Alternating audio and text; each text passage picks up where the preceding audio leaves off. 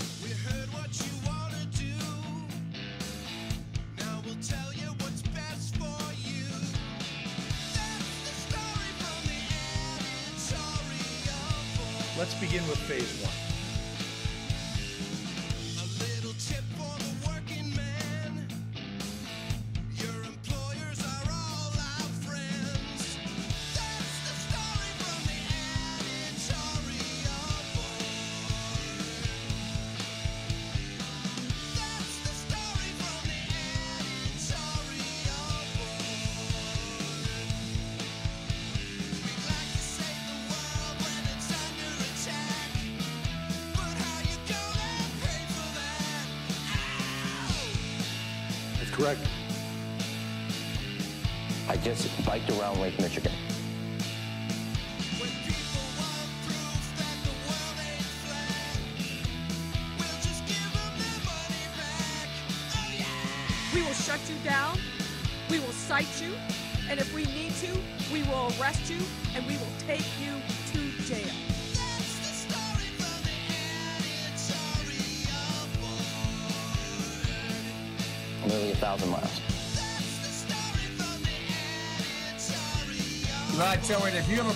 figuring out whether you're for me or Trump, and you ain't black. Correct.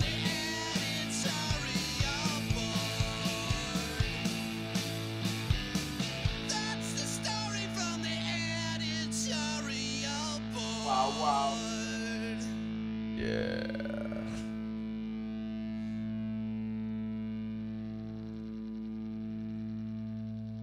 Hey guys, how's it going? We're live. Hey, today on the show, a brand new song from Michael Girardi, the man you just heard right there. You've heard the editorial board. You've heard Bailout. His new single, Tax Increment Financing, will be debuting today on the Ben Joravsky Show. All right. I was gonna play it now, but I figured let's wait for more people to get on the live stream, so then more people can hear it. That's the story of the editorial. Bow wow wow. Can't wait, man. Finally, a song about TIFs. He's been waiting uh, for about thirty years now, guys. Finally, a song for him. Come on, enjoy my TIF convoy. Hey, ain't it a beautiful sight? Live stream chat. What's happening? Weigh in. We need a song of the day for Ben to sing to get us going here. Um, we'll be announcing this probably throughout the week. Uh, we're taking next week off, Woo! And then we're gonna try and transition back into the Sun Times. Whoa, gosh. 'Cause turns out it's uh, like a sauna in this attic. It's uh, it was 97 degrees yesterday in the attic, Yeah, ladies so- and gentlemen. Uh, we're going to be doing the show. And a little later on, you may hear the air conditioner kick in. All right. Live stream chat. We need your help. If you hear that air conditioner and go, boy, that just, can you shut that off, please? Uh, it's really distracting. Let us know. And then we'll shut it it, can't be worse than the train. I mean, It can't be worse than the guy going into the porta potty. that's just not a, a philosophy I want to roll with moving forward in my job. Uh, well, it can't be worse than this. Uh, we should be back if all goes well in two weeks, huh? Yeah, yeah. So uh, we're gonna take the week off next week, uh, and like I said, let us know uh, if you hear that air conditioner and if it's driving you crazy. Let us know. We don't know until uh, you know you say something. So we'll do that. All right, everybody weighing in on the live stream chat here. Brianna, what's happening? Jeff, what's going on? Uh, your Ben Joravsky show for Tuesday, May twenty sixth is just moments away. But before we do this, let's thank the following unions for sponsoring this program. Unions like the International Association of Machinists and Aerospace Workers, Local 126 in District 8. The International Brotherhood of Electrical Workers, Local 9 are sponsors, as well as the International Union of Operating Engineers, Local 150. Thanks, unions. And of course, today's Ben Joravsky Show is brought to you by our dear friends at the Chicago Federation of Labor. All right, I'm going to look on the live stream chat and we'll get you a song of the day to sing. Okay, buddy? Okay. All right. I got a song. If no one has one, I could sing any old song. You know that, don't you? Yeah, yeah. All right, here we go. Uh oh. Uh oh. No, I'm nervous. how, how, about- now, Kyle, I don't think he knows uh, Tony, Tony, Tone. Uh, Tony, yeah, man. oh, you do. Raphael Saadiq. Oh, wow. I'm impressed. Can you sing us a song by Tony, Tony, Tone? Perhaps It Feels Good? Uh, no. Okay. I just know that Raphael Saadiq. Was How about Vic- I actually saw Tony Tone, Tone uh, but Raphael Saadiq wasn't there that night. Just like, hey, I'm not bothering with. For ten trivia points, D, what TV show does Raphael Saadiq write the music to? Oz? What is it called? Oz? No, I can't remember the name of it actually. Oh, awesome. Okay, your song of the day is Vacation by the Go Go's. Um. Oh yeah, everybody knows that song. I'm going on vacation. Yeah, yeah, yeah. Thank you, Brianna. The Ben Joravsky Show starts now.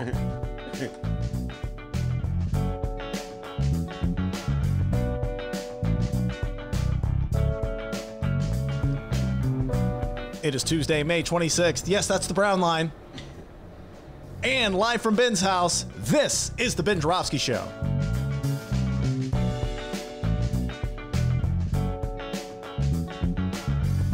Today on the program, Senator Rob Martwick.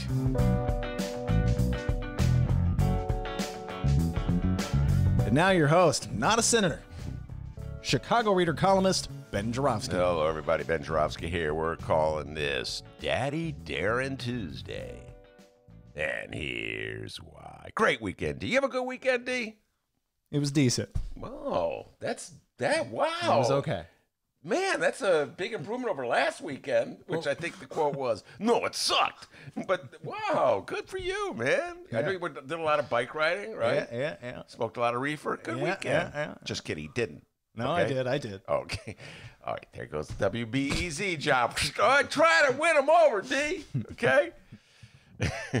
anyway, hey, BEZ, it's legal now, all right? So Yeah. that's not even a good excuse anymore. You just don't like him because he's from downstate. Let's just be honest. All right, sorry. Where was I? Um, try to watch The Last Game, which is uh, the sequel to The Last Dance, which is an ESPN special about the, literally the last Bulls game, the one where Jordan hit the shot over Utah. And it turns out, D, that you have to have some special ESPN connection. My little bootleg operation that I picked up, thanks to Frank, thank you, Frank, uh, doesn't work. So instead of watching that, I uh, made like a millennial and watched eight straight episodes of Homecoming. Some serious binge. wa- Ever heard of Homecoming, D? Yeah, I heard it's really good. Yeah, it's pretty good. Julia Roberts. I love, love Julia Roberts. And uh, eight episodes, though. Man, I was just cruising on that sucker, all right? And, and I woke up with a binge watching uh, hangover and discovered I had been a neglectful host. You hear me, D? Our favorite state rep, the pride and joy of Clay County, one big feller, Darren Bailey, was in town, and I didn't welcome to Chicago, D. I know. God damn, Darren, I just want to. Whoop, here it comes. Feel it? Oh, it feels so good. That Can you please? The air conditioner just kicked on, guys. Let us know if you can hear that. Ah, God, let me just take a moment just to enjoy the air conditioner. Ah, so nice. It was 97 degrees in there. I'm writing a column yesterday, ladies and gentlemen. Anyway, Darren Bailey, of course, is the downstate Republican uh, who is now the face of the Republican Party. Let's face it, he's probably the most prominent Republican in the state of Illinois.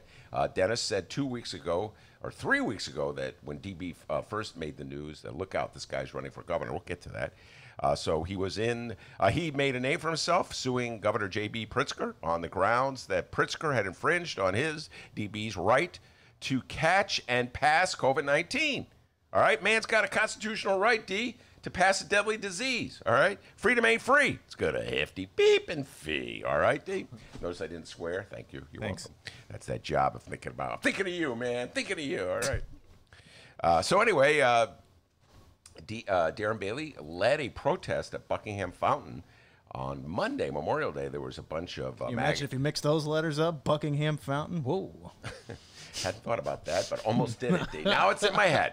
Man thinks it's funny. Now let's let's make fun of the guy with dyslexia. He's going to be having trouble with Fountain and Buckingham. uh, for the rest of the day. Anyway, they were waving signs that said stuff like FUJB, FUJB, and freedom ain't free, and come on, enjoy our convoy. Actually, I don't know if they had those last two signs. Just imagine they did. But they had the FUJB sign, according Four to letters. F U J B. According to the Tribune, yeah. Uh, I don't know if they actually spelled it out. And the good news is I have not seen any reports uh, that people were um, waving Confederate flags or carrying signs with swastikas on them or uh, signs with Nazi slogans. So, you know, they're, maybe they're cleaning up their act, eh? Maybe they're saying, you know what, may not be a good idea to be like waving around swastikas. I don't know. But it could just be that the reporter didn't see it or didn't report it, or sometimes these things get cut for space. So, but I did not see any uh, item in the paper that they were carrying signs with swastikas. So good job, DB, cleaning things up there. All right. And let me just say this. Uh, uh, even though I wasn't there to welcome uh, D- uh, Darren Bailey, and Dennis wasn't there to welcome Darren Bailey, uh, and my wife wasn't there to welcome Darren Bailey, and all my friends, none of us were there to welcome him. I'd like to say that Chicago really is a welcoming town. D. I mean, Darren Bailey is not the friendliest guy in the world, of Chicago, but we welcomed him. We said, DB, you want to throw an anti Pritzker rally at Buckingham Fountain? Knock yourself out. You want to wave signs that say FUJB? Bring it, big fella. You want to just get up there and trash Chicago and trash the people we elect? Go ahead. Now, I'd like to think that I would have the right to throw an anti Trump rally in Xenia, Clay County, home port to one Darren Bailey. I'd like to think that they would say, that, that have the same attitude toward me that we have toward Darren Bailey. That if I showed up uh, in Clay County with a sign that said F U D T, right? Or DJT, they would say, go ahead, Ben, knock yourself out. But I don't know, man. I got a feeling that uh, DB's good friend, the judge, the Hang'em High judge, Judge Michael McHaney, he'd probably throw me into jail for disturbing the peace. Not that I would complain, because freedom ain't free. Speaking of Judge McHaney, he's the Hang'em High judge who ruled uh, on behalf of Darren Bailey, said that uh, JB had crossed the line and did not have the authority uh, to force Darren Bailey to abide by stay-at-home orders. Uh, so uh, Ju- Judge McHaney looking out for his good friend Darren Bailey. There was no indication that he joined Darren Bailey at the protest at Buckingham Fountain, although I think I see him in a video. He's the one carrying the sign that says, come on and join my convoy. Just kidding, at their expense. Anyway, they did the whole Ferris Bueller thing, D, I think, when they were in town. They went to Wrigley Field. They had pizza, deep dish pizza. Uh, they went to the Art Institute. Actually, all these things are closed because of JB. So they couldn't do any of that stuff. Come back next year. Darren Bailey could do all that. Maybe. Yeah. yes. That's a valid point. man. Jury's still out. We will be in that studio in two weeks. You hear me there? We will be. That's the goal, anyway. Well, we'll we'll we'll see. Maybe, uh, right, D? Maybe. Um, anyway, uh, you actually you called it, Dennis. Uh, like I said about three weeks ago, Dennis said that uh, Darren Bailey would be running for governor. You just watch as soon as Bailey emerged as the leader of the Republican Party in the state of Illinois. Now that Bruce Rauner has left the state. Uh, Bruce Rauner is living in Florida. Uh, so Darren Bailey is now the leader of the Republican Party. And uh, so, yes, indeed, he pretty much announced that he was running at uh, the Monday uh, rally in, at You're Buckingham kidding. Is he really? He says, uh, he here's his exact quote: "If God opens a door, I'll go through that door." That's what he said. All right, Cool. you know, he kind of reminds me of Flip Wilson. Back in the day, there was a comedian named Flip Wilson who would do his character would do something bad uh, that the character shouldn't done, and Flip Wilson say, "The devil made me do it." In uh, DB's case, uh, he's saying, "God, I'm just God wants me to do this." Come on, DB. Hope you enjoyed your vacation, Madigan. You're gonna start getting ripped up left and right again. Here comes Darren Bailey. Darren Bailey. Darren, it's God's God. Don't don't put this on God. This is all your ambition. All right, but whatever. God God opens the door. I'll go through it. Uh, if he does run for governor, he's got a curious way of winning over votes in Chicago. And here is uh, my favorite quote from the uh, speech he gave at Buckingham Fountain D. Uh, here we go. Uh, and I'm reading from uh, an account in the Tribune. Quote, I love Chicago. It's part of Illinois. but sometimes when you raise a wayward child, you have to discipline that child. Okay, that's a lot to unpack. There's a lot to unpack in that sentence here. First of all, yes, he's correct. Chicago is part of Illinois, but uh, if, correct. If the Eastern Bloc, that uh, consortium of downstate legislatures, Republican legislatures, has their way, Chicago will be excised from the rest of Illinois. Remember, D? They wanted to have that movement to kick Chicago out of Illinois. So, like, life would be so much better for them if Chicago wasn't involved. So, yeah, technically it is uh, still part of Illinois, but not if you have your way. And then there's this really curious attitude he has. Sometimes when you raise a wayward child, the hell is he my daddy? He didn't. Did Darren Bailey? That's why we call him Daddy Darren. Did he raise anyone in the city of Chicago? Are we now his children?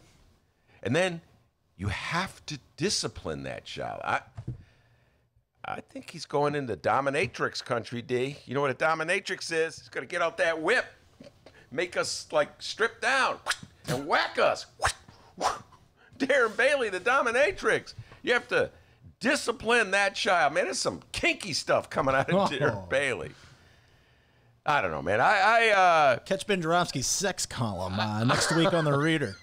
I'm not quite sure how many votes you're going to pick up in Chicago, uh, Darren Bailey, treating us like we're the wayward child. Like there's something wrong with us, but if you discipline us, we'll be good boys and girls, and we'll do whatever you say. I, I don't even know if that would be catch on downstate. I just it's it is curious though. You know, whenever Chicago has a problem, it's like something we did wrong. But whenever outside of Chicago has a problem, it's like the evil world has entered Eden. It's just a curious little take on things. It's like, well, we'll discipline Chicago and whack them around. But like when if there's any kind of trouble down in Clay County, it's like, well, we were good, pure people, and then evil came to town. So you know, we weren't. We're good, but evil is bad. It's sort of like Chicago, different attitude about Chicago uh, and downstate. That- but um, I, I, Darren Bailey, uh, I might want to think about coming up with a new tactic uh, to win over uh, uh, Chicago voters.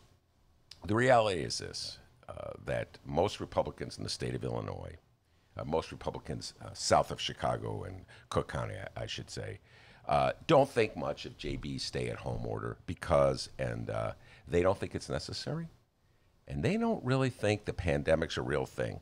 And I actually can't, I got to say this, D. I don't blame them for having an attitude, and that brings to me to perhaps the most uh, significant thing I read this weekend. Uh, a very interesting story in the New York Times. It was uh, Monday's New York Times.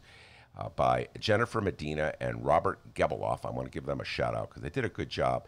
And the headline is Virus at its Deadliest in the Strongholds of Democrats. So if you really want to know why Republicans have such a hostility to stay at home orders, you got to consider uh, what uh, Jennifer Medina and Robert Gebeloff discovered when they took a deep dive into uh, the parts of the country that have been hit the hardest by the pandemic. And this is sort of their uh, take home paragraph quote, Democrats are far more likely to live in counties where the virus has ravaged the community, while Republicans are more likely to live in counties that have been relatively unscathed by the illness, though they are paying an economic price. Here you go, folks. Follow this one.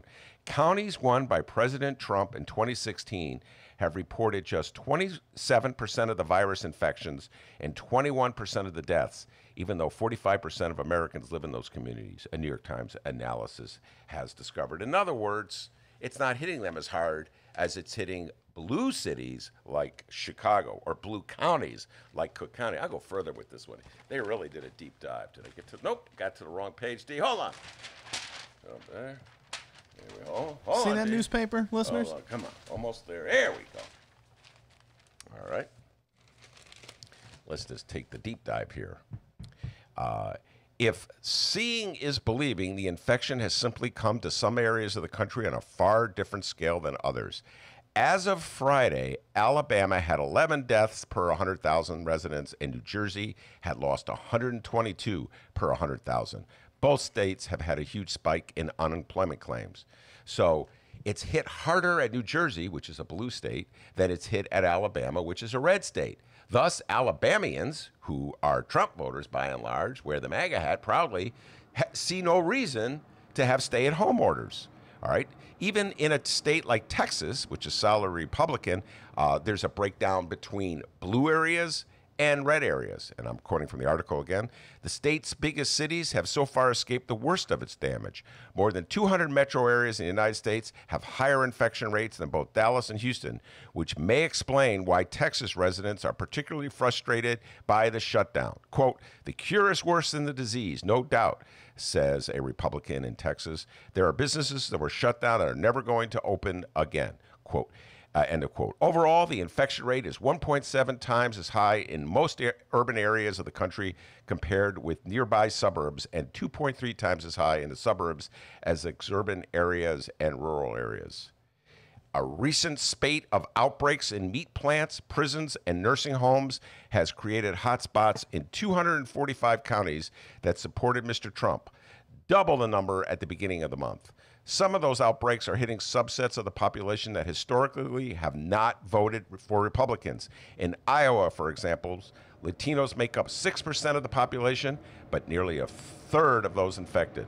The population is 4% black, but 12% of those infected are black. So even in red states or states that went for Trump, like Donald Trump, uh, uh, excuse me, that went for Trump, like Iowa, the infection rate is higher among traditional Democratic voters. And a lot of this has to do with, of course, uh, the fact that uh, the areas that are hit hardest are more congested, so the disease spreads uh, more rapidly. Uh, so, you know, there's um, medical and scientific explanations why Democrats have been hard, hit harder. It's not like the virus is picking on Democrats, it's not like it only uh, goes after Democrats. But it's easy to see how some Trump supporters might view this as a disease that doesn't affect them. And as a result, yes, from their perspective, there is no need to have stay at home. And yes, from their perspective, it's gone too far. You know, I got to give a shout out to Candace Castillo on this show. She was absolutely right. And she pointed out that the Operation Gridlock uh, movement, the FUJB movement, to use the sign that uh, appeared at Buckingham Fountain this uh, Monday, the MAGA hat wearings, fist in the air, defying the Democratic governor movement, began at roughly the same time that the MAGA hat wearers figured out that the death rate for black people was higher than the death rate for white people. Candace came on this show about three weeks ago and said it, D, and she was prophetic. She was absolutely correct. They came to the conclusion that it was other people dying from this virus, so F them. They might have just as well have said F you Chicago as opposed to F you JB. Now, here's this quote from the New York Times. I figure this this is a quote that sort of sums it all up. It's from a Mrs. Bridle, a 42 year old mother of five who lives in Texas. Uh, she says she has a minister she know who died after contracting the virus. Even so, she said she and her friends were more focused on freedom than on health. Quote, I guess other people expect us to set our futures on fire to keep their fear warm. I think that's incredibly selfish. If you're that fearful, then just stay home. That kind of reminds me of that quote your dad used to say. D, remember that quote? He goes, If you're scared, go to church. Remember that quote? So if you're so fearful, just stay at home. I tell you what, I can understand why she has that attitude, but it's pretty cold hearted. I'd like to think, I had talked about this with Dennis earlier today. I like to think that if it was reversed, that if this disease was hitting hard at areas that I don't live in, that I would show a little more compassion for the people who are hit hardest by, and also a realization that the trend could turn and I too may be infected. I wouldn't just, I would hope I would show just a little more compassion for people who are suffering uh, than so many of my MAGA hat wearing counterparts, my MAGA hat wearing brothers and sisters in red states. I'll tell you what, you know, uh, I think they'd be singing a different tune if the virus uh, was hitting hard in their hometowns. I guess freedom really is free if someone else is paying the price. We got a great show today, everybody. State Senator Rob Martwick will be here. He's got a lot to report about last week's session in Springfield. When I say Robert, you say Martwick. Robert. Robert, You know, and I uh, just instinctively I almost call him state representative Martwick. Stop doing that. I know, but you you got me. You said Senator Mark. I go Senator. I go yes. He's now a state senator. Uh, for several years, he was a state representative Robert! the Northwest Side. Robert. So we were talking about the casino, the budget. Uh, oh man, you know, we'll talk about uh, how uh, vote by mail. It's got a lot of interesting things to say by vote, Vote by mail. by mail. And also his mail. heroic and courageous drive to Springfield, uh, which is a story that'll probably be uh, turned into a movie anytime soon. Oh, wow. Rob Martwick will be on with us, but before we do that, the young man from Alton, the man they call Dr. Doobie, with the news. Hey guys, no one calls me that. Um, really? He's, he's talking about a, his, his car ride to Springfield. Mm-hmm. What happened? Uh, well, I'll allow him to tell the story, but the uh, this is called the teaser in the business, D. Uh, he wasn't going to go, but they thought he needed his vote because, well, he'll tell the let let let Rob Martwick tell the story. Cool. All right. Well, hey, that's going to be coming up a little later on. And before we go any further here, uh, a couple things we want to run by. First off, hey, have you checked out the latest Benny J bonus interviews? Well, they're available at both Chicago Sun Times and Chicago Reader websites and wherever else you download your favorite podcast. Uh, Alder Woman, Jeanette Taylor, was one of our bonus interviews. Go check that out. We had David Ferris and who was the other one, Ben? I really can't remember offhand. E Z Eric Zorn. Eric Zorn, Easy E, guys. Go check those out. Both Chicago Sun Times and Chicago Reader websites. And yeah, wherever else you download podcasts. So that's one thing. The other thing, uh, after this week, we're taking next week off. All right. So yeah, we're uh, going to try to transition back into the Sun Times. Uh, we'll see how that goes. But uh, we're going to take next week off, see, uh, play it by ear. Maybe I'll go in the Sun Times and give a look around, see if I feel safe, if it looks good. I think we should be fine, though, right, Ben? Yeah, uh, it, clean the place out. Make sure we have wipes there. Uh, I have to write to that reader best of. That's something I got to do, D. You know, but putting it off and putting it off, uh-uh. So I'm going to be uh, working feverishly, uh, putting together my best of. We had Leor Galil on talking about his best of, and the reader's say, "Hey Ben, come on now, hurry up, get those stories in." So I'll be doing. that. I'll be busy guy uh, next week. And also, I just want to say, while we're gone, we're going we're going to go into our uh, vault greatest hits. We have over 500 shows. Yeah. Over 500 shows. Yeah, We, that's why we're taking a little break. we're right? grinders, man. you really do the job. Over 500 shows since we started, and I'm going to go through and pluck out some of the greatest hits. Be- That Ben Joravsky show, they pack a lunch. they pack. The DB loves us. He says, "Where?" He's like Buckingham Fountain. Hey, Oh man, where, hey, where's that Giordano's, man? I love that place. You actually, I actually showed him around town. You didn't ask me. Oh, uh, I didn't know I showed, that. Yeah, I showed Darren Bailey around town. where'd you take him? Uh, Giordano's, as he calls it. Did, Oh, what, now where the hell's that Giordano's at? I like that place. deep, deep, deep dish. uh, DB loves Giordano's. Oh man, I don't like them cubbies. he, he went to Wrigley Field. He did the whole Ferris Bueller thing. I know, I know. Jealous. You are so jealous. I was jealous that you got to hang with him and I didn't. Apparently. I know. Oh, Giordano's. There it is. By the way, let's bring out for the greatest hits. So when we're gone, we're going to be dropping some of our, uh, our greatest hits. Uh, get that Lori Lightfoot interview from when she was a candidate. Oh yeah, I'm just curious. To, we should pluck that one out of the. the She made, she made fun of our studio. yeah, she did. What am I in your bedroom? I, as I recall, oh, here we go. For ten trivia points, who was the other guest in the studio that day? It was Mark Sims. Very good, excellent.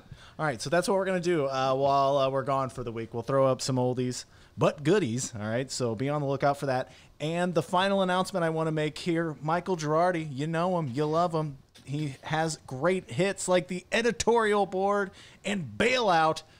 Today we are debuting the latest song from Michael Girardi. That's right. It's called Tax Increment Financing. Boy, you really know how to get on the Ben Joravsky show, pal. Make a song called Tax Increment Financing. That's right.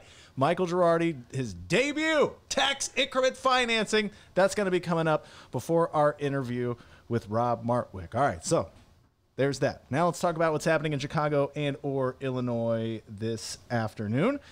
Today, Illinois Governor J.B. Pritzker will be all together now delivering his COVID-19 press briefing at 2:30 at the Thompson Center. That's correct. Good job, everybody. On Sunday, the governor gave us the good news. So long, phase two, because we are now entering phase three of JB Pritzker's five phase strategy to restore Illinois. Let's begin with phase one. right, now, why would we do that, JB? Phase one's over.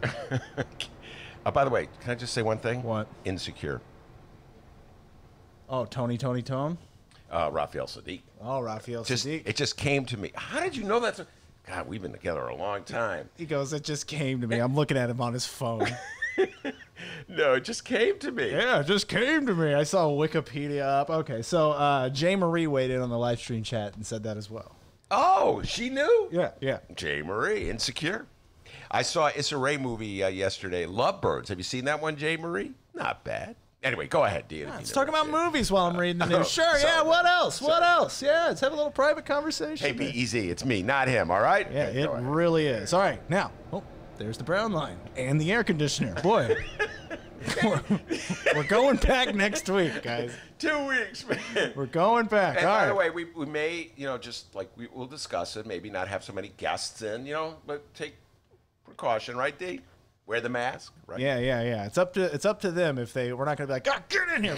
Ben used to twist people's arm back in CPT days. Uh, no arm twisting anymore. All right. First off, it's unsanitary. Second off, they they can come in if they want. If not, we can give them an, a phone interview. All right. Now, I was just talking about uh, Pritzker. He said we're going to be in phase three. Ben interrupted me, and then we got way sidetracked. All right.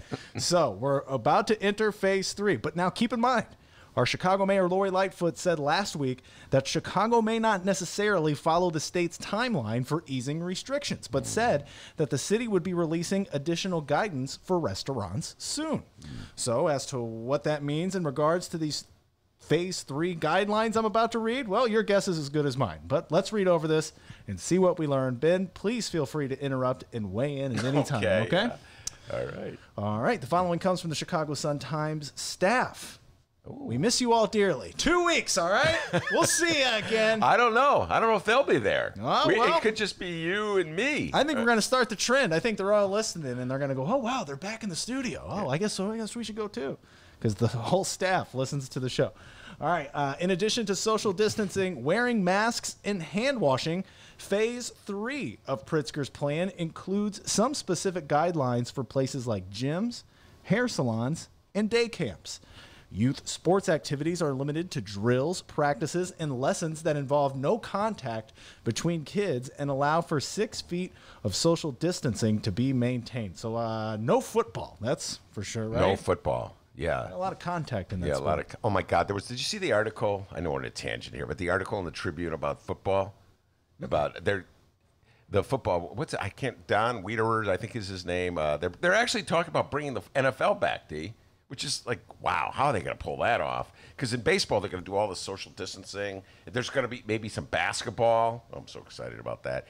Uh, but I don't know how in the world they're going to play football. Uh, but the guy was talking about in football. He, the, the writer was talking about in football, the snot and the saliva and the spit is flying. I was like, wow, these football writers really get into it. Uh, yeah, I don't know how they're going to bring football back. D. Go ahead. Fitness classes are limited to one on one training. Outdoor classes with a maximum of 10 participants and no contact between attendees.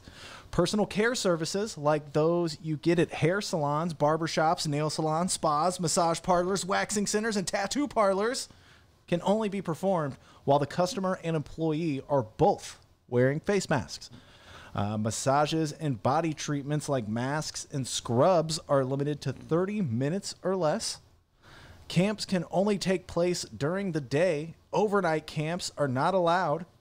Restaurants and bars can be open for outdoor dining only and limited to parties of six people or fewer. Mm. The governor stressed that as more businesses reopen, the top priority will continue to be the health and safety of Illinois residents and workers, and he urged Illinois residents to continue to take precautions. The governor's office estimates about 700,000 Illinois residents will be able to return to work in phase three, And that will start exactly. I believe after the 29th. 29th. Yes, my wife is waiting to hear from Lori Lightfoot. We talked about this because, all right, you know, there's the proclamation by J.B. Pritzker, which is for the state of Illinois, but in the city of Chicago, the mayor gets a say, Mayor Lori Lightfoot. So she reserves the right to be more restrictive if necessary.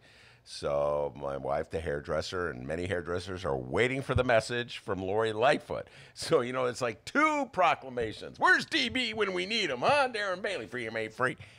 Uh, I don't know. You know, you know, it's funny. We're, I mean, we're all being very cautious, and we're all being good citizens. Uh, we've moved to our attic, etc. But D, if you notice, the rest of the country doesn't seem to be following the precepts over the weekend. Huge gatherings uh, at the beaches throughout the country. Nobody wearing a mask, no masks in sight. We already saw the picture. We talked about it last week in Wisconsin. Gatherings at bars, not a mask in sight. People right next to each other drinking. You know, spraying like crazy. That's what you do in bars, huh? So I mean, it's it's almost it's almost like a parody of itself. You know, the, how we're dutifully following the orders of our governor while the rest of the country is, you know, just party on. It's like the teacher, one class in the school is really following the rules and doing what the teacher says, and the rest of the school is just like rocking out in the bathroom or something. So, it's very, to quote you, a very mixed message. And of course, uh, Donald Trump this weekend, uh, Memorial Day, was playing golf, no mask on. Uh, Joe B, Joey Biden, when he went out to uh, lay a wreath at a uh, in a ceremony for Memorial's Day, he and his wife were wearing masks. So Donald Trump doesn't wear a mask. Joe Biden doesn't. So we're really divided. This country is so divided on this issue. So many issues. It's, uh, but this one is is really at the top of the of the charts. And um, you know, so I'm falling in line with with JB. I'm with him. I think he's done a good job as our governor in this tough times, uh, having to deal with nothing else and then like, you know, the Darren Baileys of the world. But I don't know, man. I think the rest of the country has decided the hell with this stay at home. We're gonna party. I don't think it's the rest of the country. It's just like Illinois only. You know, there's other places doing well, Well, right? let- let's put it this way: the uh, the red part of this country has decided the hell. And then, I, like I said, there's our people who just there's nothing political about it. They're just tired of staying at home. They want to go to the beach. Like I said, they figure it's like smoking cigarettes, so they're they're willing to take their chances. Pl- people who are making political statements and people who are just stir crazy. All right, let's move on here. Another city news. Finally, an answer to the question that at least no one in my circle of friends in the city of Chicago has ever asked me since this all started. What about the tourists? the following comes from the Chicago Sun-Times and Stephanie Zimmerman. The headline reads Chicago's new normal. When will the tourists come back? Unlike some places that have hurtled toward a rapid reopening, Chicago wants to be viewed as an intelligent destination that visitors can trust. Yes, turns out it's much easier to lie to people who are only here for the weekend. Yeah, wait, time out. People actually live here, it's tough. Wait, time out. Did you, I did, did- you was that did Stephanie write that? No. Or, oh, that's really funny. wait, I'm go, glad you're surprised. Yeah. What, what did she write? That Chicago wants to be known as an intelligent. destination that visitors can trust. Okay, yeah. Visitors may be able to trust. But any, as the song uh, by Michael Girardi on TIFs could show, it really pays not to trust anything that our leaders say in the city of Chicago, at least when it comes to tips. So it's a, a very intelligent city, uh, uh, you know, except for when it votes on its mayoral candidate. Yeah, we prefer that those people come back. Their visitors are really easy to lie to. We uh, miss them. yeah, we can visitors will believe anything. Well, it's a really intelligent city. These people who live here just sticks in the mud. My God.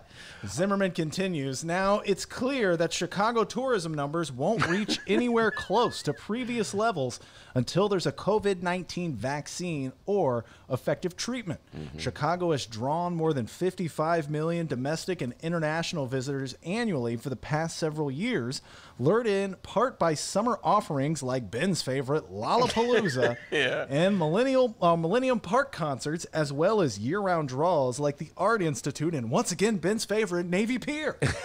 Oh, that, that's where DB went. Navy Pier. You know he went to Navy Pier. Darren Bailey was in town on Monday. Let's go to Navy Pier. I've been on bigger and badder Ferris wheels. that one's okay, I guess. he took the Hang 'em High judge, McHaney. They went down the, they were on the Ferris wheel together, D. Where's Giordano's at? Uh, got that line about the intelligent. Visitors, very intelligent. Chicagoans, uh, mm, not that intelligent. They'll fall for anything. The, the city has also benefited from a travel and tourism boom boosted by the strong economy that followed the 2008 Great Recession, with 153,000 uh, jobs tied to Chicago tourism in 2019.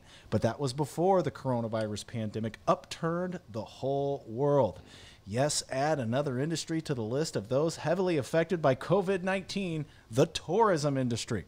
What's the backup plan for tourism if a pandemic breaks out? Well, obviously there isn't one, but don't worry.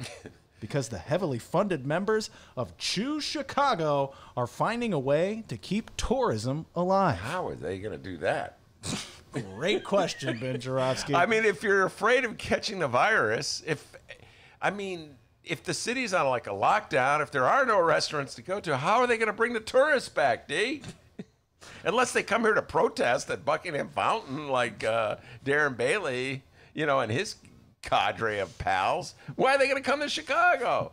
What's the plan? Choose Chicago, the organization charged with boosting Chicago's image, mm-hmm. was hit. Chicago's image. huh? Yeah, that was. Well, they did a lot of boosting after Chicago decided to reelect Rahm in 2015. Yeah, some heavy lifting. Oh.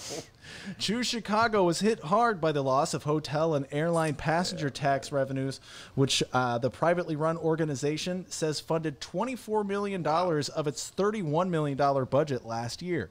The tourism group is now throwing its efforts into showcasing Chicago as a safe place where reopening protocols are based on public health and science, says board chairman Glenn Eden. He's the executive vice president with the public relations firm Weber Shandwick.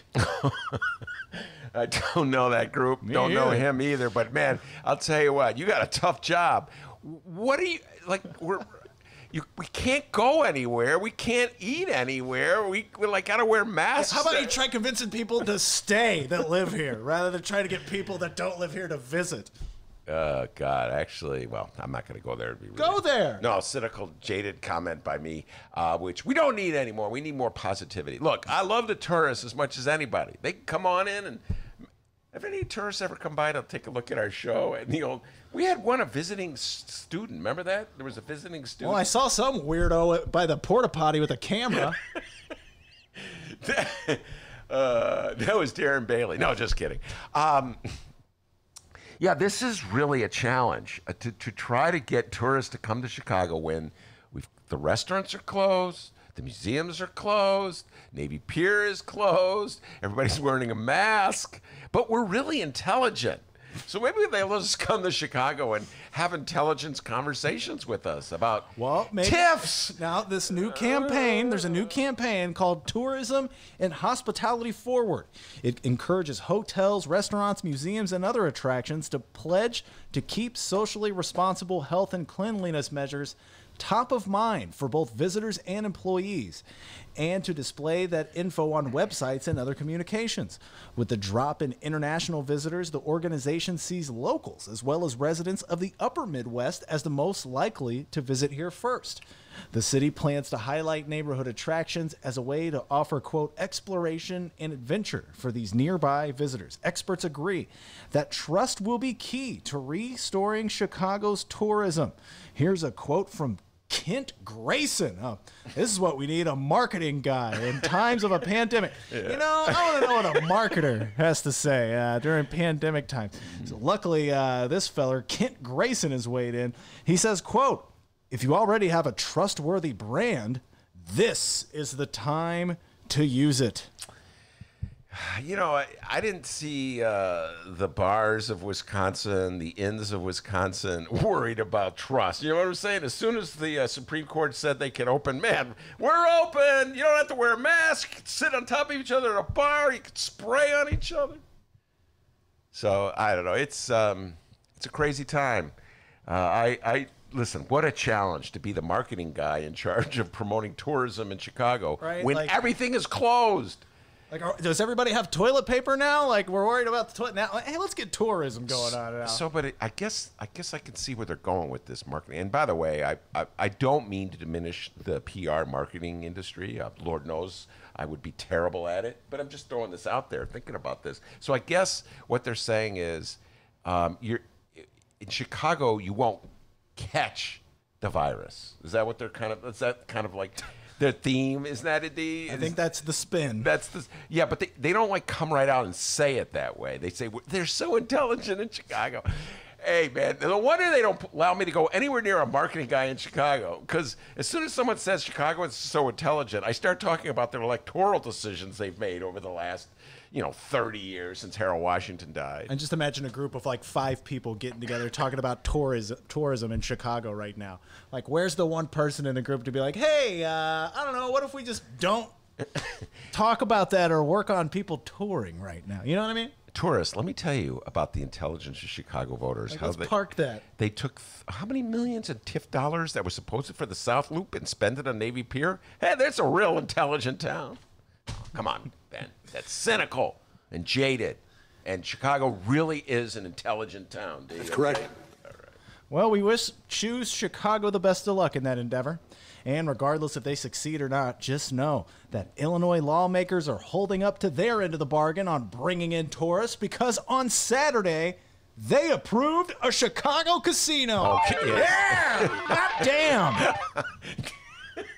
Finally! All right, we'll talk to uh, Rob Martwick about this one. The, Go Illi- ahead. the Illinois General Assembly worked into the late hours to approve a $41 billion maintenance budget plan that's largely reliant on borrowing and hope that the federal government will further help Illinois with COVID 19 relief.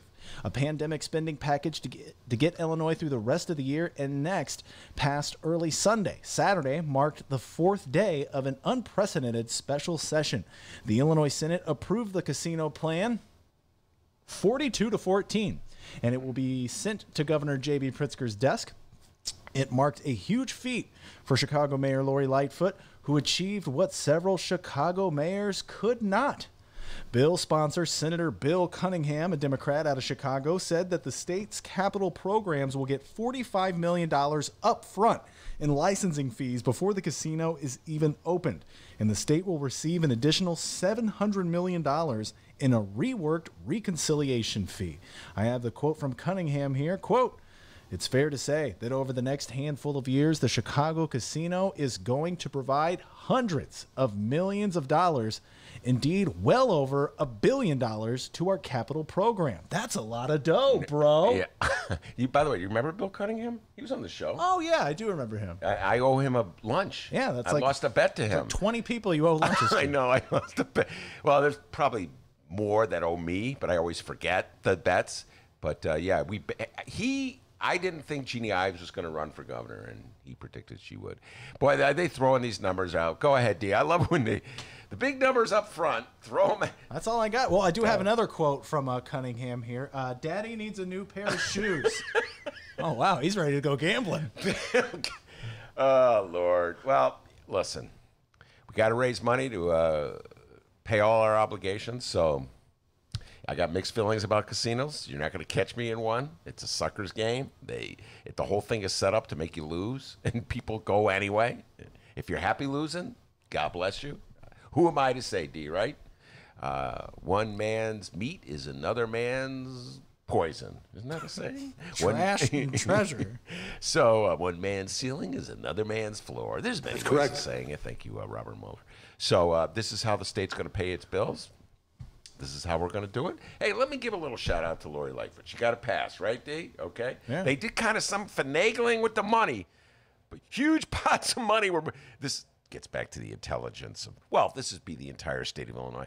We're not that smart when they start moving the money around. Don't tell the people in the tourist trade that, D. Okay? They're trying to promote us as an intelligent place.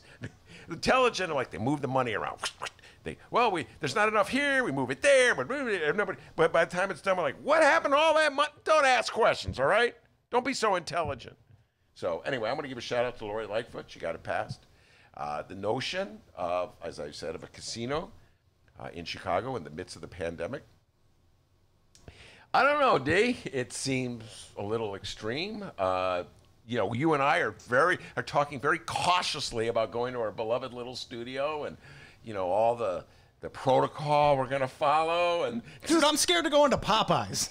right, the notion the notion that like thousands of people will pack a casino standing on top of each other rolling dice or playing blackjack. You know you better sanitize those cards. So i don't know. You know what? But I, I think you have to think big ultimately. And so eventually this pandemic will pass. Uh, we'll come up with a vaccine. And you know we can start soaking all the saps who come to chicago and using the, those proceeds to pay our uh, pension obligations. Uh, jeff johnson will be a guest. Mm, well not next week two weeks from now and we'll, we'll talk about how this is going to impact pensions. Uh, the police and firefighters i believe are at the top of the list to get uh, money from the casino uh, if the casino comes to chicago. So you know what? You got to pay the bills d. Got to pay the bills. Gotta pay the bills. And hey, Mayor Lightfoot, when this casino opens, meet Joravsky over at the blackjack table, huh? Yeah! Hot damn! Let's go gambling. All right, and finally, ever since he's become a weekend political pundit, well, it's one of my favorite things to do on a Tuesday. It's time to find out how much horse shit our former mayor Rahm Emanuel was shoveling on television, huh? Oh, there goes the WBEZ gig. Long gone, pal. Long gone. It's all right, man. Apparently, the Chicago Tribune likes to talk about it as well. Right now, in my face is a tri- tribunal piece from Bill Ruthhart. Ben, what do we know about Mr. Ruthhart? He's a pretty good reporter, a political reporter. I Remember, he was the one we he we dissected one of his stories. He went to Michigan. Remember this? day? He went to Michigan uh, and he interviewed uh, General Motors, I think it was, and strikers who were supporting oh, Trump. I know I remember- I Mayor don't know if you Rahm went to Michigan. I just biked around Lake Michigan, And how many miles did you go? nearly a thousand miles. Oh my goodness! Did you see anybody who wanted health care? No, not anybody. He, he went all throughout the state of Michigan, couldn't find anybody who wanted health care. They love their health care. Thank you, Mayor Rahm. Yeah, he's wearing spandex. Did you know that, D, when he went on that bike trip? Yeah, that's I heard about that. But you were telling us about Ruthhart? Yeah, he wrote it pretty. Remember that story? We talked about it uh, about uh, General Motors strikers who were supporting Trump anyway. It was like, wow, man, that's some deep stuff. You know, Donald Trump has never done anything for the labor movement in this country except for just try to destroy it.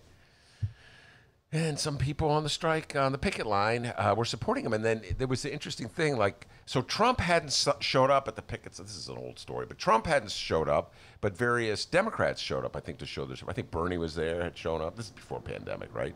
Uh, I think Elizabeth Warren may have come by. Uh, Grandpa Joe may have showed up. Joe Biden, I wanna- I tell you, if you have a problem figuring out whether you're for me or Trump, then you ain't black. That's correct. Oh God, Joey B.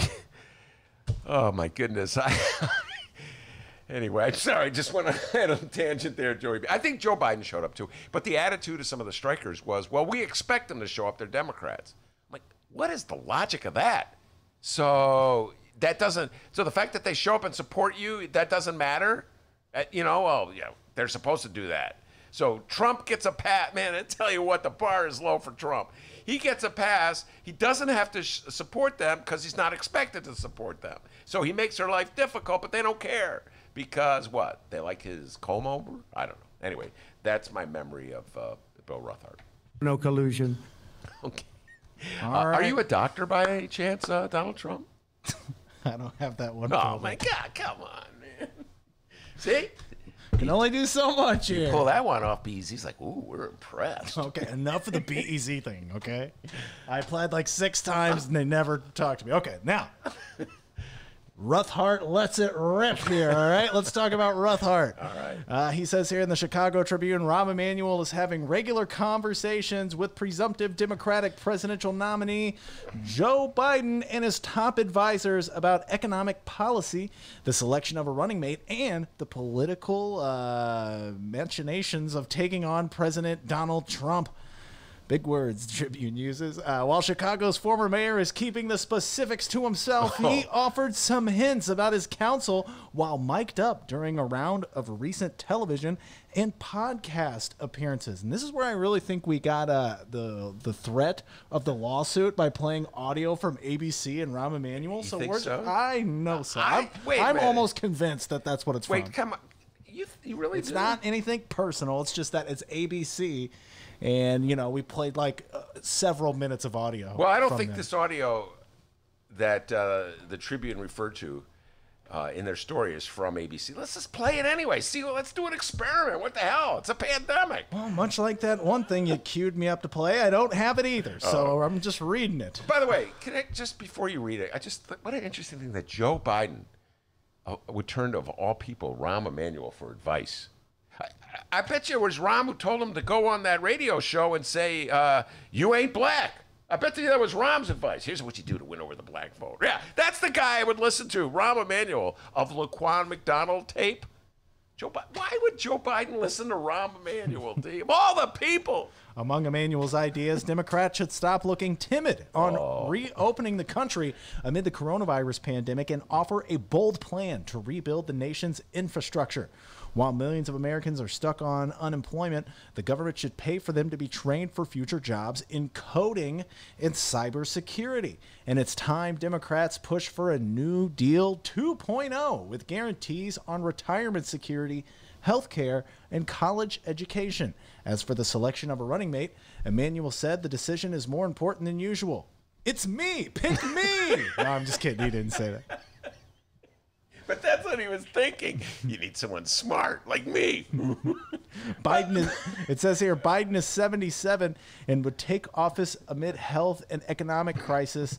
Uh, but that policy direction is at least as important for the former vice president. Revealing his standing in Biden's orbit uh, helps a man. Okay, you get the point. By the way, can we just advice. pause for a moment?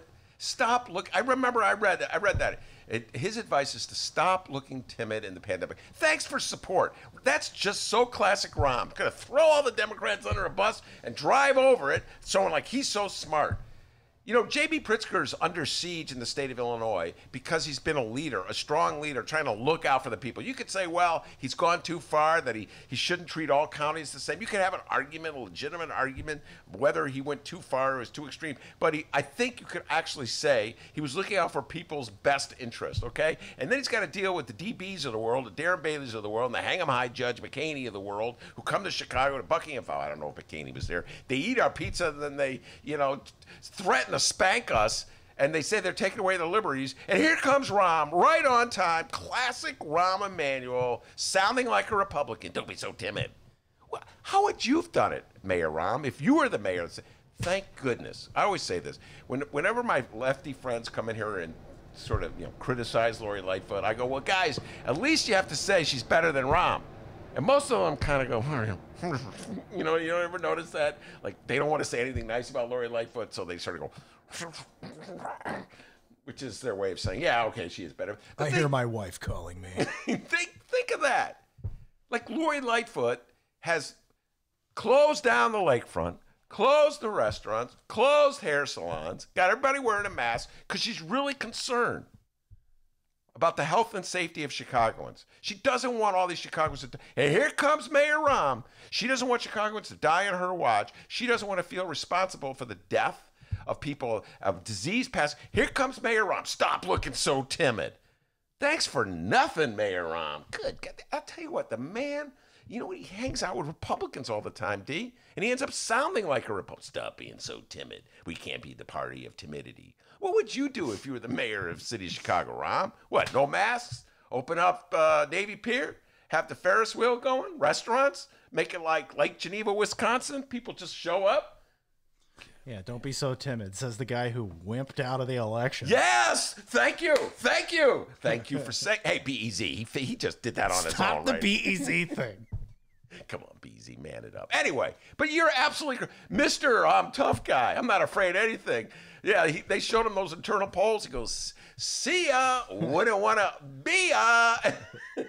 now he's gone giving advice. Stop being so timid. Oh, okay, Mayor Rahm. Thanks for nothing. We're trying to hold this all together. We got these, you know, uh, MAGA hat wearers with their signs, F U J B, and here comes Mayor Rahm. Stop being so timid. I'm going to stop my timer right now. Okay. It's been 22 years since I heard someone say, Sia wouldn't want to be there.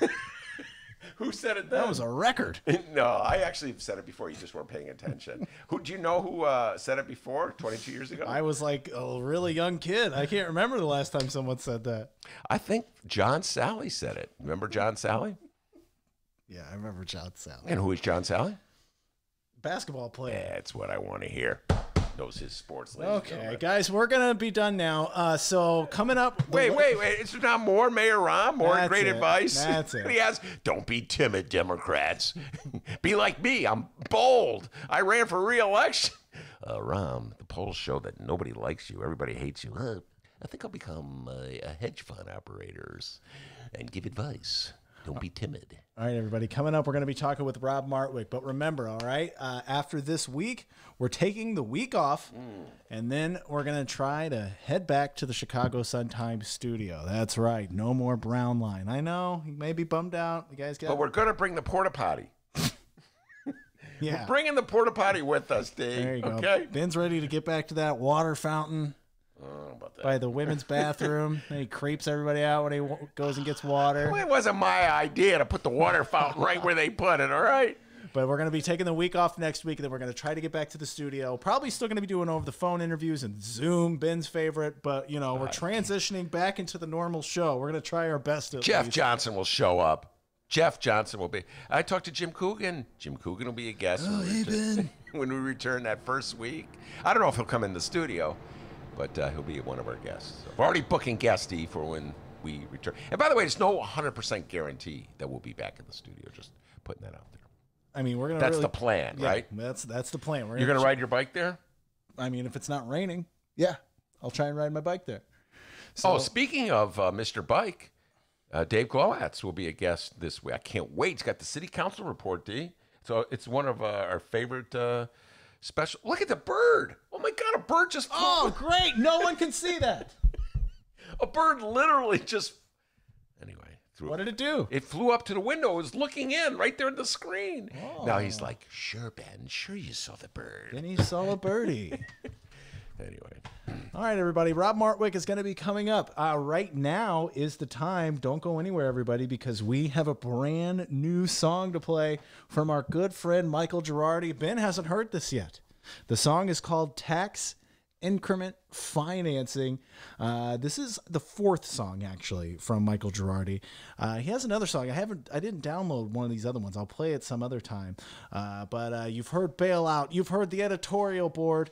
People, get ready. This is the latest from Michael Girardi. Dude, what's the album going to be called? Let us know because you're going to have one by the time this damn pandemic ends. This is called Tax Increment Financing. Coming up after this song, Rob Martwick. It's the Ben Joravsky Show. We're live from Ben's attic. Don't go anywhere.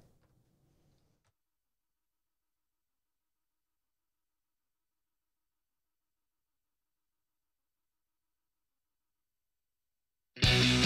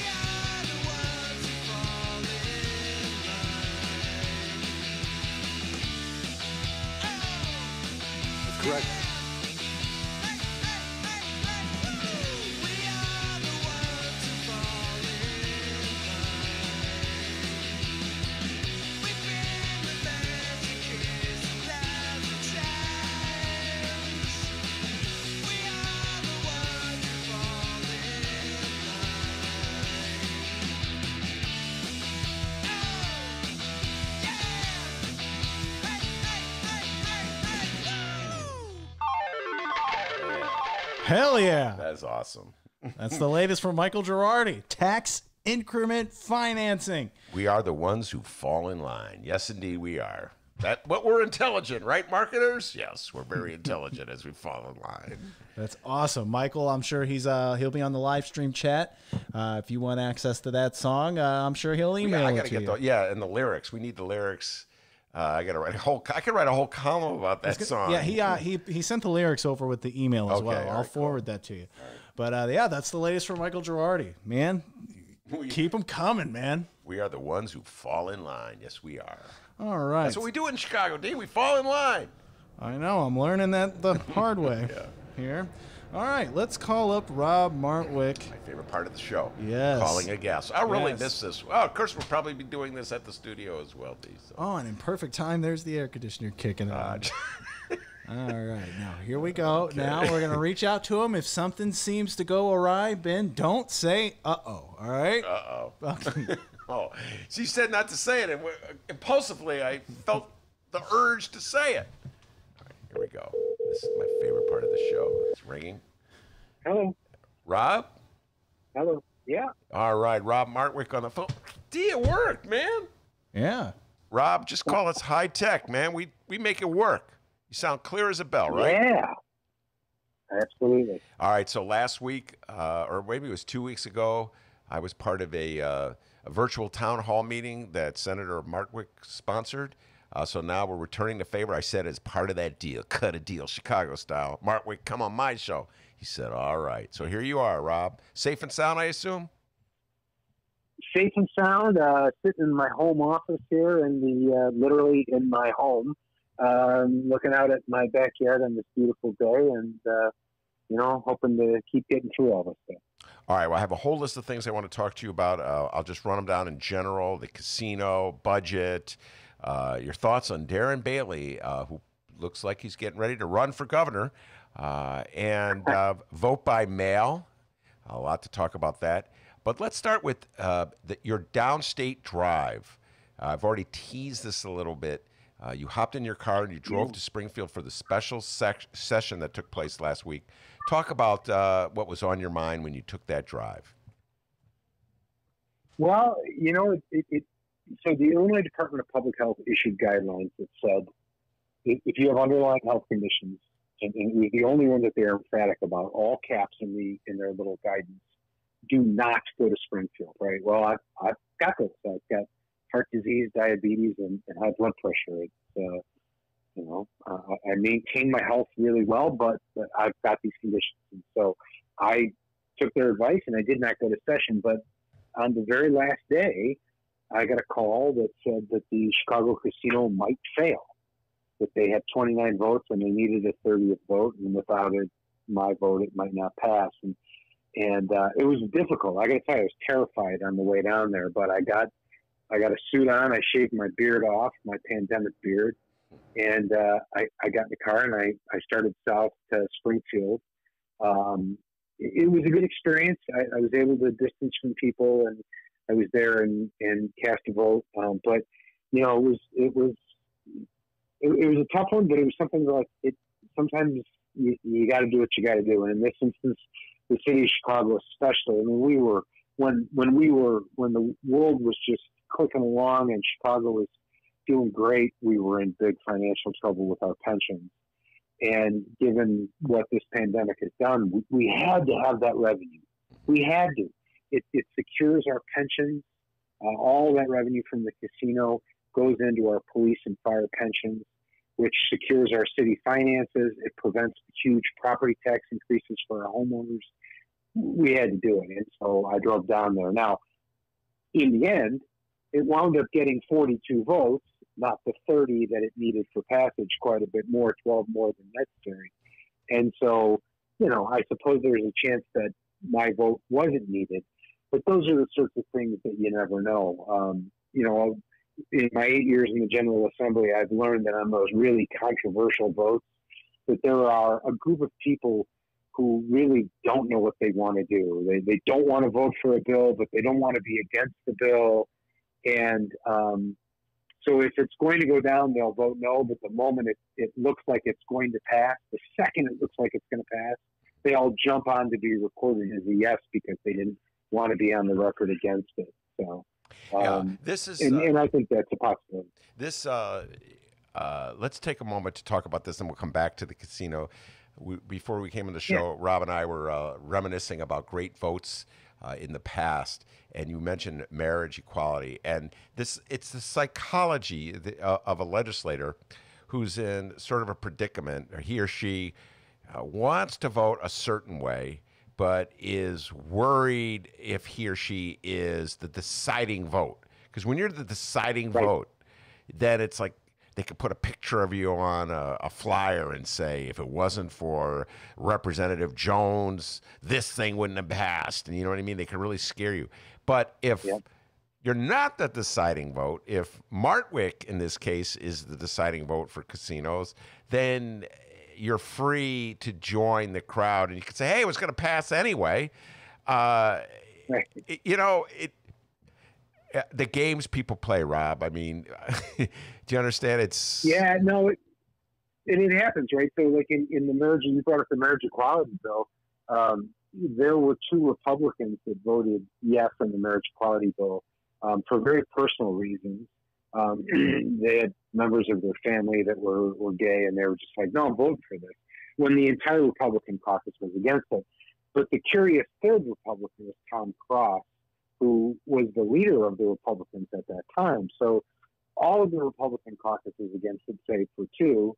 The leader typically goes with his caucus, or he gets his caucus to follow him. But in this instance, Tom Cross kind of sat there, and he was a no until the very last second. The moment that bill crossed 60 votes in the House of Representatives, Tom Cross, boom, at the last second made his light green. And of course, the backstory is, or the understory is, is that he was about to run for state treasurer. Well, if you're going to run statewide in, in, in a blue state like Illinois, you can't be that conservative in your vote on a, on an issue that was as popular as marriage equality. So at the last second, he jumped on for his statewide bid, and and so that happens a lot, especially a casino bill like this.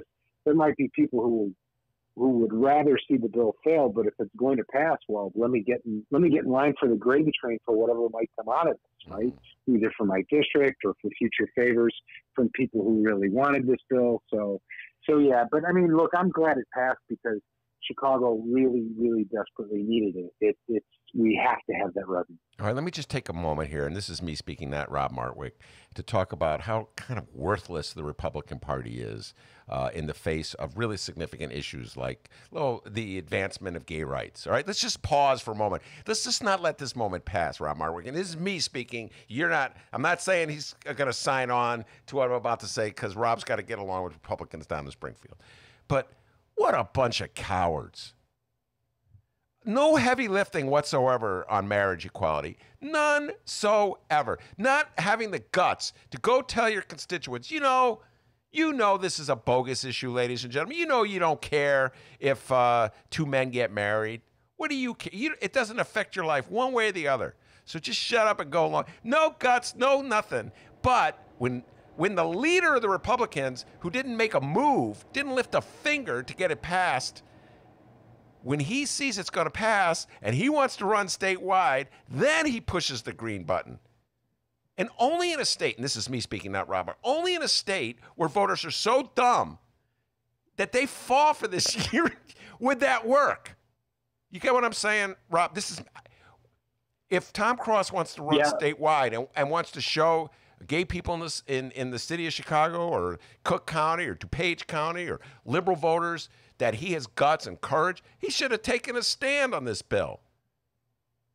Yeah. And- well, and and and and uh, rant taken and uh, all of it appropriate. The only thing I would say is that that that last second vote is uh, uh, uh, does not know party lines. So there are plenty of, of Democrats who have sat there with their finger on the button, waiting to see how something goes before they vote on very controversial issues. And you just a pension reform, right?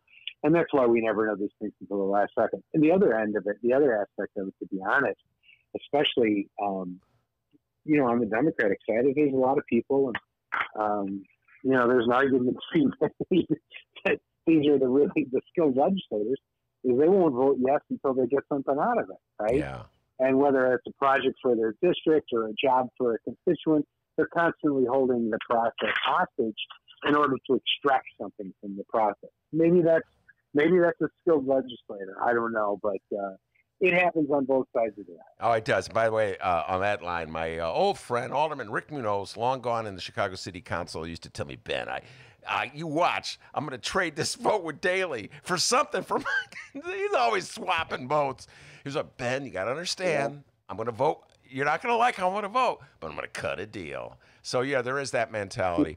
and by the way, we'll get into it when we get vote by mail. The Democrats, you're absolutely correct it's it's uh, not just uh, Republicans who play this game, but I'm just saying, on a bill of such significance, symbolic significance, which gets like like marriage equality, which gets us a fundamental right.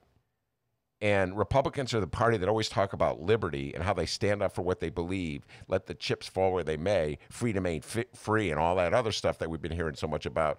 It sure does look cowardice that you wouldn't take the straw. That's all I'm saying. That's you get what I mean? It, it, uh, and, and yeah, absolutely. And when you start talking about vote for vote by mail, uh, it wasn't. It, it was more than cowardice. It was complete and total self interest, right? Um, let's be honest. Vote by mail is going to have effects both ways. And again, in a state that is mostly blue, then in then it, it, you would expect then that the benefit would be to the party that has more voters. Hence, the Democrats are going to come out ahead. But in certain areas of the state where it's overwhelmingly Republican, they would come out. So what you saw was you saw a lot of Republicans take to the, the debate about this, and they were like, well, no, we're all for access to voting. But, you know, they fall back on that, but we've got to protect the sanctity of the process. In other words, if it's more Republicans coming out, we're all for it, but we think there's more Democrats coming out, so we're worried about people stealing votes. All right, we, we'll get to vote by mail. And by the way, did any, I, I haven't I haven't seen uh the roll call. Uh, did did any Republicans vote for the vote for mail in the Senate? Uh, I I don't know. I'm gonna I'll look it up while Okay. we're talking. All right. Well, don't no. That I'll I'll look it up later. Get into that one. Uh, let's go back to the pensions. Uh, so yes, the final vote was 42 to 14 in the Senate. So they didn't need your 30th vote, but the fact that you were there as a 30th probably freed up 12 people to go. Oh well, now that Martwick's risking life and limb to come to uh, Springfield with his uh, various conditions. Uh, all right, we'll vote for it. So, uh, so yeah, I guess you're you really represented 12 votes, 12 extra votes, Rob, uh, if you play that game. All right. So here's the question I have, and I think I've already posed this question to you. Part of the reason why the bill had the bill was already there was already was a casino bill that passed. I'm losing track of time, Rob. Was it last June? I want to say of 2019. Is, is am I right about that? About a year ago? That's correct. Yeah. Yeah. And then. Mayor Lightfoot, your old friend, said that, well, we have to go back and change it because the formula uh, wasn't favorable enough to entice uh, casino operators. I had my issues with that. You know, like you can't. I mean, the whole system is set up to soak the saps who, you know, go there. I don't know how why they need any more money, but whatever. That's how it went down. So, was there a sense of what had to be done to make the the casino in Chicago more attractive to a casino operator?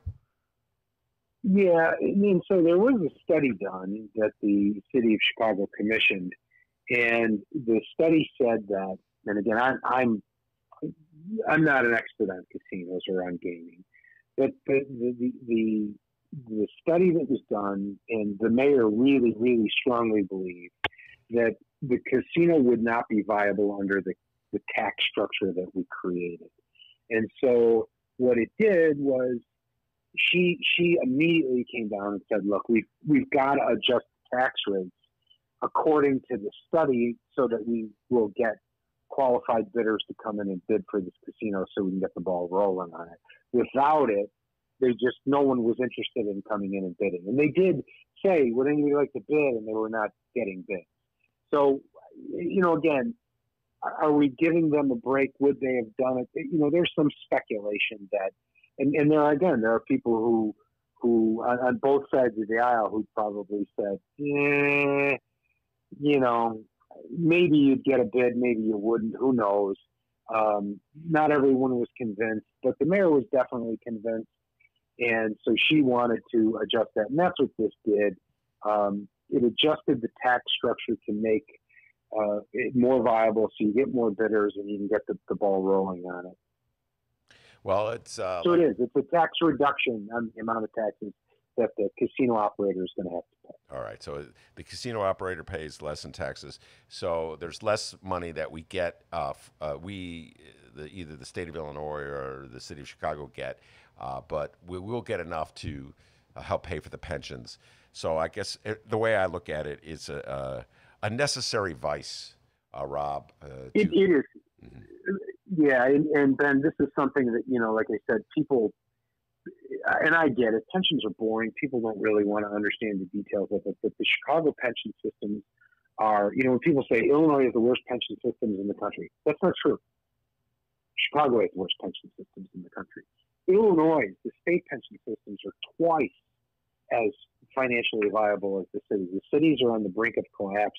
And in the midst of this downturn, if we didn't do something, like I said, the ripple effects, pension systems go bankrupt, it's municipal bankruptcy, which means the city can't borrow money, which means big financial crisis, which means taxes go through the roof, which, you know, middle class homeowners already can't afford the property taxes that we're paying, need to, we, need to stop this. And the ripple effects would, what a lot of people don't understand, would ripple across the whole state. The suburbs would, would feel the effects. Heck, downstate would feel the effects because, you know, the city puts way more into the pot than it takes out in terms of taxes, right, to the state. We put in money, and downstate gets roads built. So everyone would suffer if Chicago didn't secure its finances. And so that's why I felt like this was something that just had to get passed. Yeah, no, I, I would have voted for it too. Uh, for all my yapping here, and it's in, in my little uh, attic studio overlooking uh, the Brown Line in the alley and a porta potty. Rob uh, Martwick, I would have voted for it too. So you know, I uh, I would have been belly aching and complaining, but I would have voted for it if Yeah. Uh, if, if, if as impossible as it sounds, if I was ever elected to anything. All right, now the the, the one I'm not sure about is the vote by mail. Lead us through this one. Uh, this was we had um an indivisible representative on the show uh, last week urging uh, the the state to, to pass a vote by mail bill that would automatically send ballots to every voter Yeah. uh, in the state, every registered voter in the state of Illinois. The uh, the measure that was passed uh, would send applications as opposed to ballots, so people could fill out a uh, a vote by mail application. Talk a little bit about what went down uh, to get applications and not ballots in the bill. Well, like anything else, it's a compromise. You know, um, no doubt about it. I was for ballots. Send a ballot, and that way, look, you don't want to vote, don't send it back. Right? It's that simple, right? Uh, but why complicate through these multiple steps of the process if you're going to truly do this? And and uh, but but the compromise was, and again, you know, I live in the city of Chicago. Um, there are Democrats that are elected in areas where it's not as Democrat as the city of Chicago. It's not as liberal as progressive as the city of Chicago. And there are Democrats that are in areas where Donald Trump wins. So, um, you know, they didn't feel comfortable with that level of a vote by mail. So the compromise was uh, was that we mail out an application to every person who voted in the 2018 general election or the 2019 consolidated election or the 2020 primary election. They would receive an application. Anyone else, if you're a registered voter but you're not one of those three, you haven't voted since 16, you can still apply for a ballot. You can still go and vote in person. Um, you can still take advantage of early voting. But this just says now that instead of you having to be to proactively ask for an application for vote by mail, we're going to send you one. If you're one of the, if you voted in any of the last three elections, we're going to send you that that uh, application, and and then we're also going to. There, there is a provision in the bill which is good, is that we are going to proactively encourage people to vote by mail. So the Secretary of State is going to include notice of the vote by mail and registration uh, in the constitutional amendment brochure that's being mailed out for the for the fair tax. So he's going to tell everybody make sure you vote by mail, and then they're going to send a second notice to anyone who received the application and didn't submit it. So if we mail it out to you and you didn't send it back to us, we're going to send you a reminder notice. And so um, I think that's going to help a lot. Clearly, more and more people were taking advantage of vote by mail in this last primary. Way more people took advantage of it. But even then, that was on the tip of this pandemic. Come November, when we could very well be in the midst of a, a second wave, um, a second peak, I think it's going to be it's going to be big, and so uh, I'm I'm glad that we passed it. All right, now this is uh, we were talking earlier about uh, the strategies that Republicans, uh, the games Republicans play uh, when it comes to uh, matters like marriage equality. This is the old maestro, Michael Madigan, and uh, I've been I've been, I've been feeling like a bizarre affection for Michael Madigan these days, Rob Martwick. I just wrote this in a column. Uh, and it's because I'm it's the, the, I spent the '90s fighting the machine and the O's. Okay, you know what I'm saying. So Madigan was usually on the other side of local issues for me. But I look at this like existential threat we're facing now with Donald Trump and the Republicans who are lunatics, and I realize that a certain amount of discipline and street smarts uh, is necessary for Democrats. So I'm feeling kind of like a a bizarre uh, affinity for Michael Madigan, which um, I'm getting mocked by many of my lefty listeners for. But whatever, that's the, the reality. So he's protecting his constituents on this. I mean, I mean his caucus members. That's I what he's doing. Yeah, the guy is a constant, consummate battlefield general. You know, he knows how to maximize his victories and minimize his losses. And um, as you said, you know, we've had this this great realignment, right? Um, there are fewer and fewer rural Democrats and fewer and fewer suburban Republicans, right? I mean, it's just the, the closer you get to urban, the more likely it is to be a Democrat controlled area. And so we've got this great divide. There is less of that. You know, you think about back in the in the uh, the old days when they had the three member districts and you had elected Democrats and Republicans from all over the state. There was less of this divide, and, and when it when the lines are so clear, when the battle lines are so clear, that's when a guy like Madigan becomes so much more important because it's really the more there are two distinct sides to the fight, the more that are that the, these wins are, you know, they're, they're absolute. It's wins or losses. You win or lose. There's no, eh, we did okay, you know. Um, and so that's where Madigan becomes very, very important. Is that in those important fights, he knows how to get the most out of it and, and get the most important victory. Well, and, and so let's go back to the vote by mail. So, um, if a, a Democrat who is in a rural district or in a district which uh, went heavily, went strong for Donald Trump, either for Trump or like in the high 40s for Trump, uh, he or she is vulnerable to accusations that the Republicans are promoting that there's something fraudulent about vote by mail. This this is the chorus Right. that the Republicans are singing. Uh, they get their lyrics written up by the White House and Donald Trump, and they just follow along.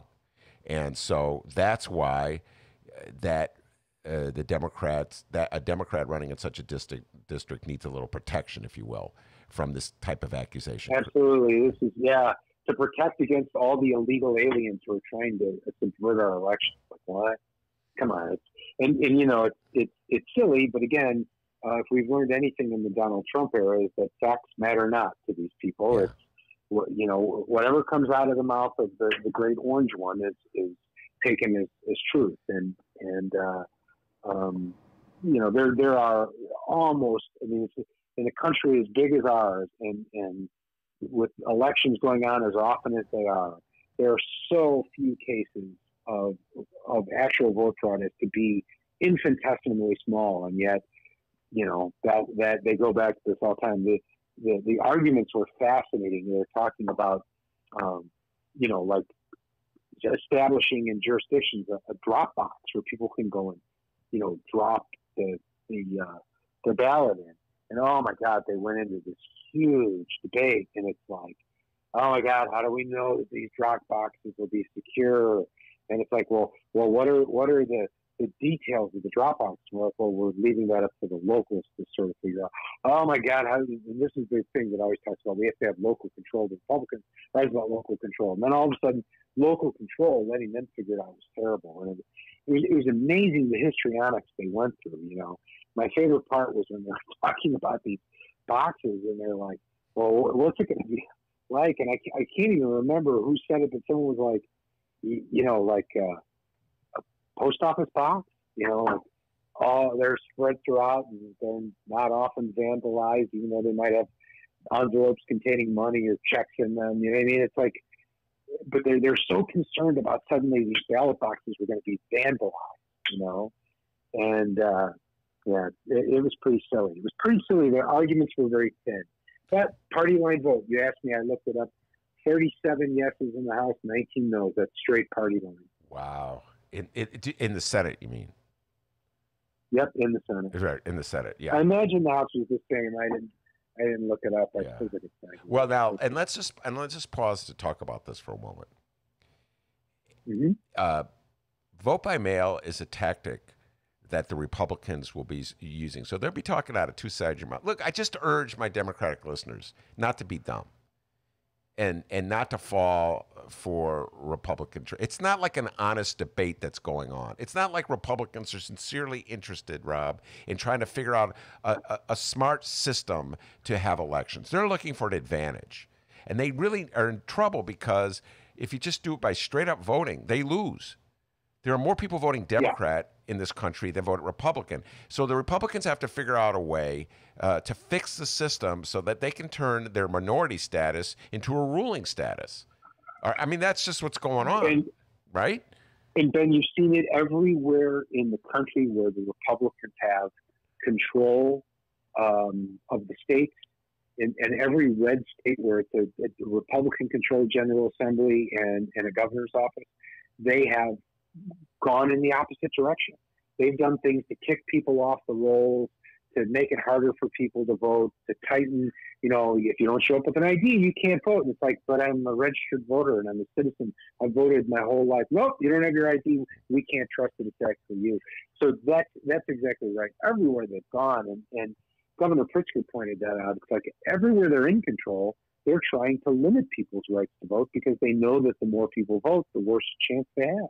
Unless unless they can work it to their advantage. I'm just going to remind people all these Republicans who voted for vote by mail in the state of Illinois, they lined up all of them. Uh, they weren't. Uh, they didn't say anything about what went down in the 25th congressional district in California. And Rob, I, I'll just tell you this: only a geek like I would know this stuff. But in that district, there was a special election, and the Republican was victorious, Mike Garcia, largely because get this, vote by mail. And I, mm-hmm. you know what? I give the Republicans credit. They outfoxed the Democrats. The Democrats fell asleep in California. They got lazy, and they were defeated at vote by mail by the Republicans. I didn't hear any Republicans in Illinois citing that by any chance. Did anybody talk about the 25th congressional district during the debate last week in Springfield? Uh, I, didn't hear it. No, not not from the Republican side. Um, and you know, it's interesting because the Republicans have engaged in Illinois in uh, vote by you know as, as a campaign strategy, right? I mean, it, it is a campaign strategy in these type districts to encourage your base to go out and vote by mail, mm-hmm. right? Yeah. So you can they, they are literally mailing applications from a political process, not from a governmental process. That's okay. So a, a campaign can mail out a bunch of applications to their voters and say, and you can say, I'm not mailing them to everybody because it's a campaign tactic. You can say, I'm just going to mail them out to the Republicans and say, hey, fill them out, and then I'll follow up with you. Did you get that? You it out? Get your vote in early because you know they're going to be your votes. There was a lot of complaining in 2018 because Governor Rauner in 2014 had spent a lot of money on vote by mail programs to help the Republican Party. In 2018, he promised to. And then when his campaign went off the rails and it looked like he was, he, where everybody knew he was going to lose. Remember, there was the rumor that in the summer he was trying to get off the ballot and let somebody else replace him. Yeah. Well, he, and not to, this is the wrong analogy here, but his campaign mailed it in, so to speak, in terms of the rest of his campaign, but they didn't follow through on all of that spending on vote by mail uh, programs that they said that they were going to, and that's what put a lot of these local Republican races in in trouble. And, and you know, uh, again, I don't know the extent to which you could say that he was responsible for the wins of a Lauren Underwood or a Sean Casten. But I think there are people in the Republican Party that would argue that his failure to deliver on those programs cost them votes. Well, so not- they've done it. They've Yeah. engaged in it. No, they, like I said, it's uh, it's a tactic that the Republicans use to their advantage in, in, in several districts, and they will continue to use their advantage. They'll do it two ways. They'll say, when we do it, it's right. That's what Trump says. Literally, Donald Trump says, when I vote for mail in Florida, it's fair and it's because I don't live there and it's convenient and it's it's law abiding. But whenever any Democrat does it, it's illegal. Uh, so they're talking out of two sides of the mouth. All right, now uh, let's close it down with the discussion of the new face. I call him the face of the Republican Party in the state of Illinois, and that would be Darren Bailey, your old colleague, your old House colleague before uh, Rob was a state senator. He was a member of the House. Uh, and uh, Darren Bailey from downstate Clay County was in Chicago yesterday. I don't know if you know this, uh, Rob, for a, uh, a, a rally against J.B. Pritzker. People were waving signs that said, FUJB. We're very friendly here in the city of Chicago. We welcome all types to come to the city and exercise their First Amendment protected rights. I always point I always point it out. I'm wondering if uh, if I held a rally in Clay County, would they be so tolerant of me uh, if if I had a sign that said "FU uh, Donald Trump"?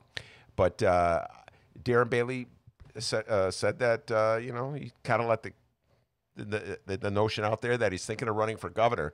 Uh, what's your sense of what uh, Darren Bailey and represents in terms of Illinois politics? Well, first of all, what I what I would like to say is I hope to God he runs for governor. that would be awesome. Um, so that's number one. Let me get that out of the way. Um, number two, uh, you know, I Darren Bailey is. Uh, uh, uh, I'm not going to try and be nice here. He is everything that's wrong with politics in this country. He is the politics of division when it benefits him. And you think of the hypocrisy of this guy. And, and look, I, I have a personal disdain for him because he not only refused to wear a mask, which is like, wh- what does it bother you to wear a mask? But he's going to make a political statement about not wearing a mask. But on top of that, they asked all the legislators to get tested. He didn't get tested. Tested, he doesn't wear a mask. He has no idea what he's doing, but he's willing to make a political statement and put people's lives at risk. And that that should be uh, all you need to know about a person right there. But on top of all of this, this is the guy who is part of this eastern bloc of these southeastern legislators that their big call is to kick Chicago out of the rest of the state of Illinois, draw a line at I 80 and everything north is its own state and everything south. And now, he, but suddenly, he loves Chicago.